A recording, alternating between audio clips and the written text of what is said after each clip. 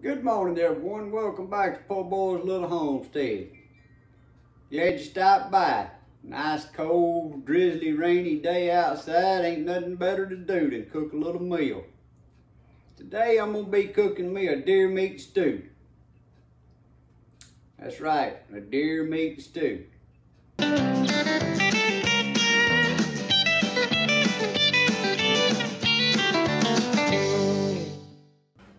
Making our deer meat stew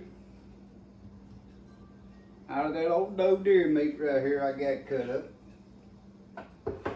We're gonna add this deer meat. I got some frozen green peas, some frozen carrots, probably about a cup and a half each. Didn't have no green beans canned up, so I got some Italian green beans in the can. I guess I did have some canned up, but I didn't can them. I got some whole kernel corn in a can. We use one 15 ounce can of tomato sauce. I got two potatoes, medium to large size potatoes cut up there in chunks. And that's what we're gonna have in our deer meat stew. First, I, I put my little water in there, about a cup, cup and a quarter of water. That's where I start with, because I go on and put my salt and pepper in here. Salt and pepper to your liking. I'll put about a teaspoon, teaspoon and a half of each in here to start with.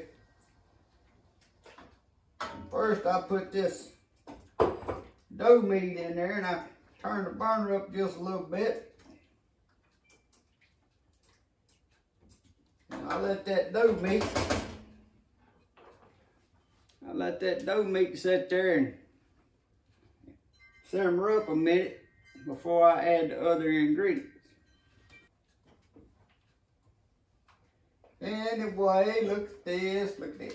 I can just eat this doe meat just right there. Next, I like to add my tomato sauce. Get it all stirred around.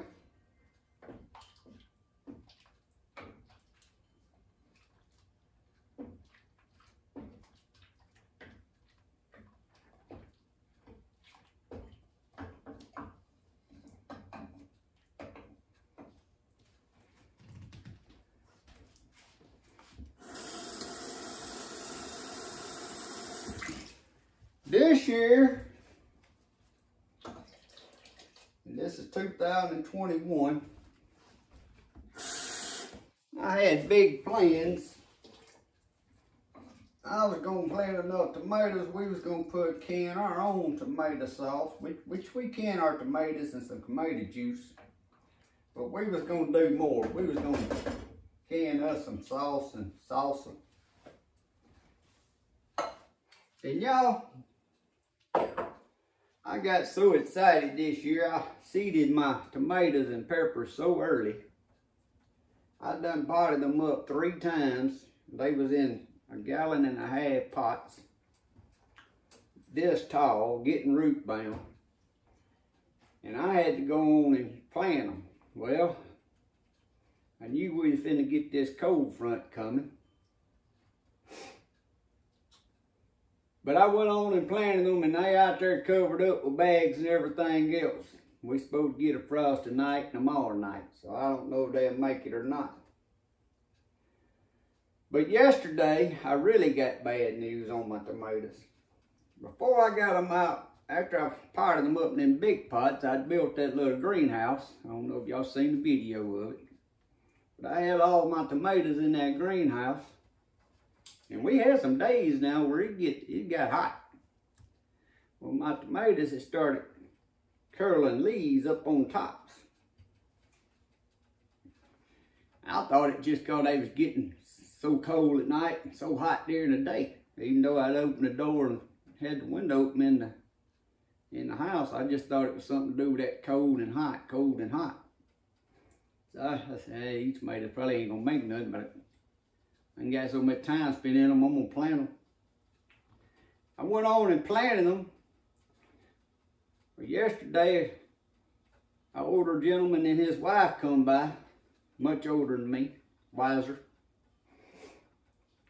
soon as she seen one of them tomatoes, she said, look like your tomatoes been hit with 2,4-D.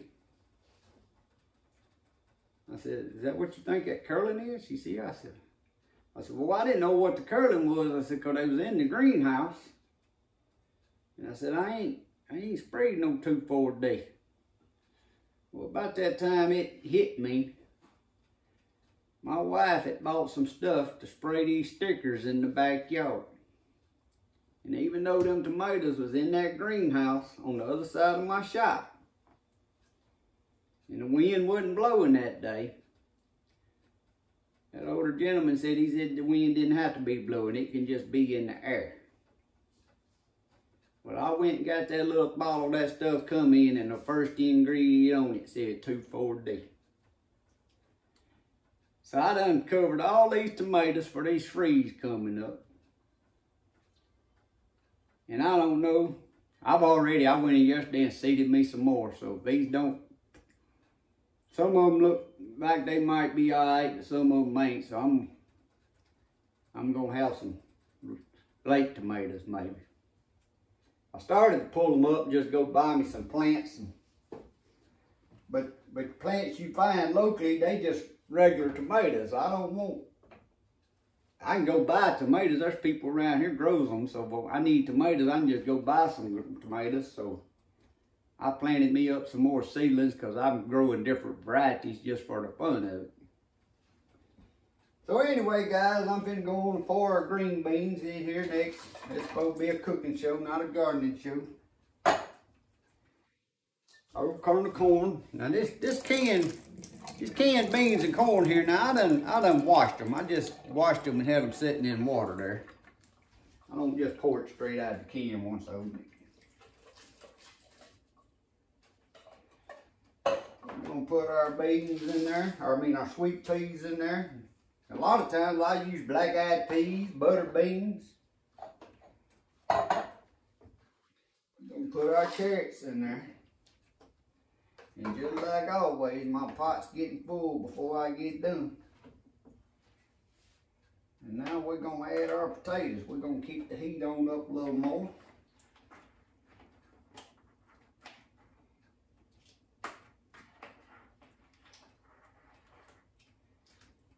At this point, I still don't put my noodles in there. I get this to a simmering, a light boil simmering. And I put the lid on it and I let it simmer until these potatoes get done. And then that's when I add the noodles to it.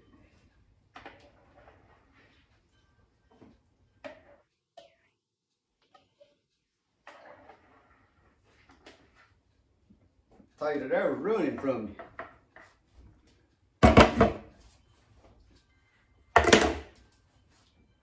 But I do this every time, whatever pot I start with, it ends up by the time I put them noodles, it's gonna be right to the top.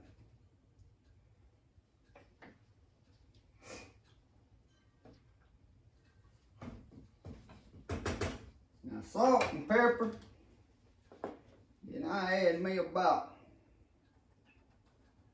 good teaspoon of cayenne. I like cayenne. I like that warm feeling, but yet it ain't hot and burns your mouth.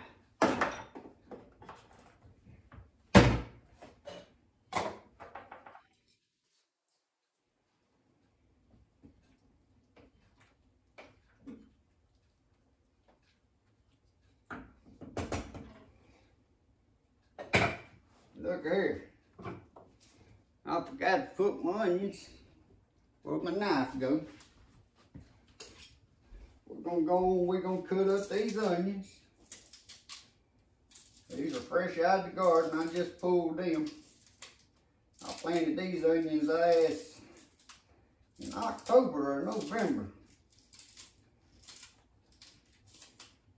They ain't got that big of bugs on them, but they some good eating onions. We've been using them for the last couple weeks cooking with. That's what I like about my garden. I ain't, I ain't raising a big old garden of a lot of one thing. We like having just a little bit of everything. Run out there if you want some kale to eat that night, pull you some kale. If you want a salad, go out there and get you a mixture of salad.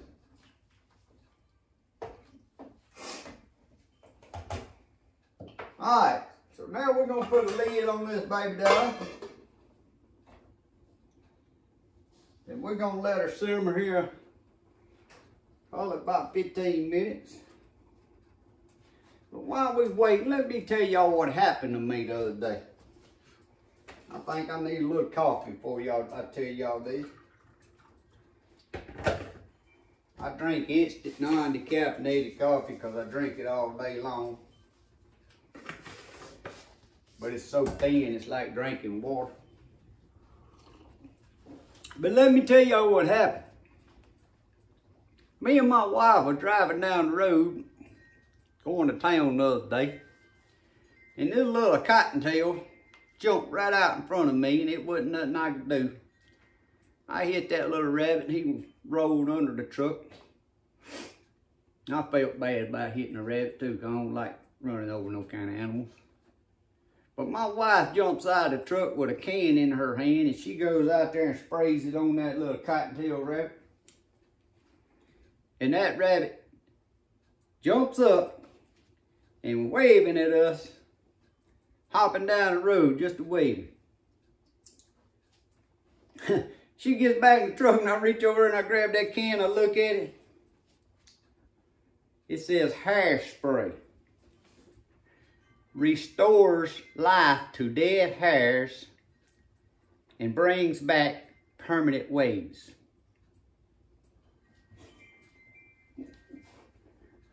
That's a pretty good one, wouldn't it? Let's check on the comb.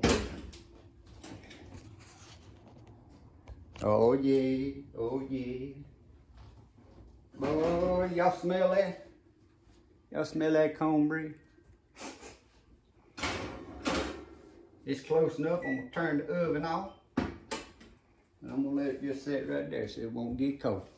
I'm gonna give this one more stir.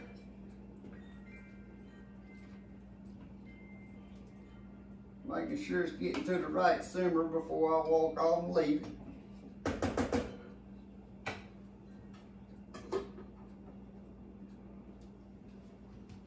Guys, I'm gonna let that sit there and simmer and I'll get back with y'all in just a little bit. So don't get up and go nowhere.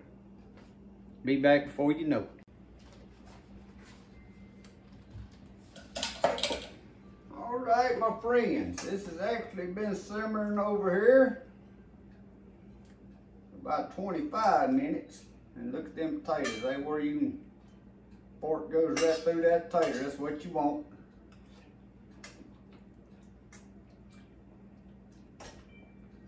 when you taste that seasoning in them potatoes, that's when you know you got your seasoning just right. But that potato soaked that seasoning up. Now, my friends, somewhere earlier I forgot to tell y'all, the very first thing I done, I got an extra pot out. I put me some water in it, brought it to a bowl. And I take spaghetti noodles. This is a one pound box and I didn't use quite half of it. And I go on and boil my noodles in the water by themselves. And I wait and put them in last. Because if you don't, your noodles will get too mushy and soft while you're waiting on your potatoes and carrots meat to get done. So now I'm to add these noodles to this pot and try not to run my pot over because I need a bigger pot. I got an easier way than that. Let's just drain the water off of them. We just drain the water off of them, then I can just dump them in there, can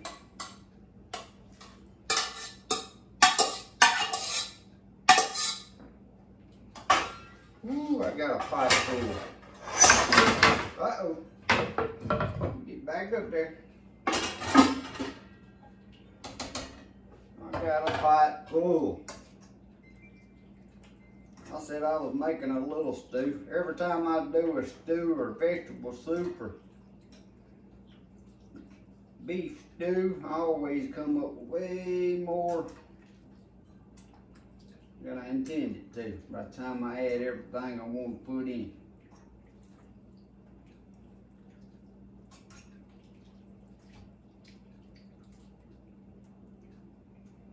Now that's good and hot and been simmering. So all I'm gonna do is turn this burner off. Clean up my mess a little bit so my wife won't get on to me. She'll be so proud I cook supper she won't worry about the dirty kitchen.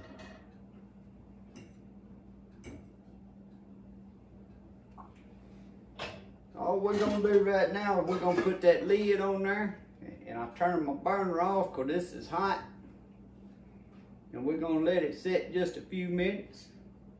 And then we're gonna come back and we're gonna fix us a bowl of this dairy meat stew. Let y'all see what it looks like. Well, that was fast, ain't it? Well, guys, while we was waiting on that just to season up with our noodles here a few minutes, I got my mess all cleaned up. The dishes all put in the dishwasher. Y'all know, all my life I didn't like dishwashers. I thought a dishwasher ought to come with two legs and a set of boobs. But nowadays, that dishwasher's all right. I can just load up my mess all in there and don't take me as long. But anyway, I'm gonna bring y'all over here. Let y'all see what this deer meat stew looks like. This cornbread. Then we're gonna fix us a little sample bowl to let y'all see what it tastes like. One of these days, this technology is gonna be where y'all can smell through these videos. But look at that, all that meat, corn, noodles. I could have done just a little less on the noodles. That's all right. That's all right. Piece of this cornbread. I like crumbling about half of my cornbread in my stew and Save my other piece there for the top. I need to get a spoon that don't let my juice go out, don't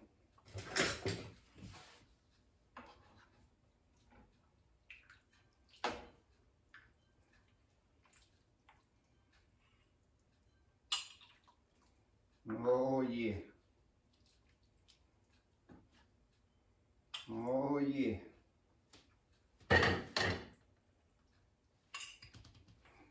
Guys, look at that. Wish y'all was here to have a bowl. Y'all could come see me. We'd just get, go out there and get that horse trough and cook, cook us a big old batch of it. May have to go shoot some more does before we cook that much doe, huh? Mmm. A little hot though. Not pepper hot, fire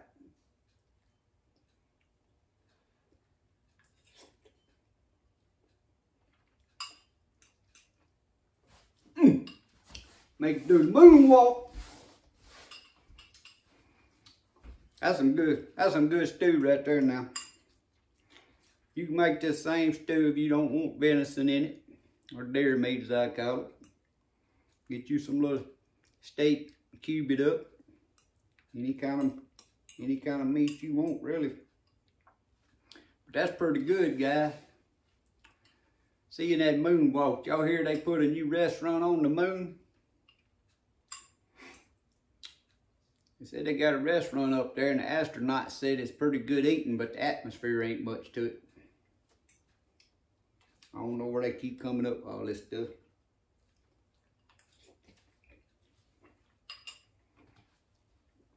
Thanks for watching, guys. God bless. Have a great day.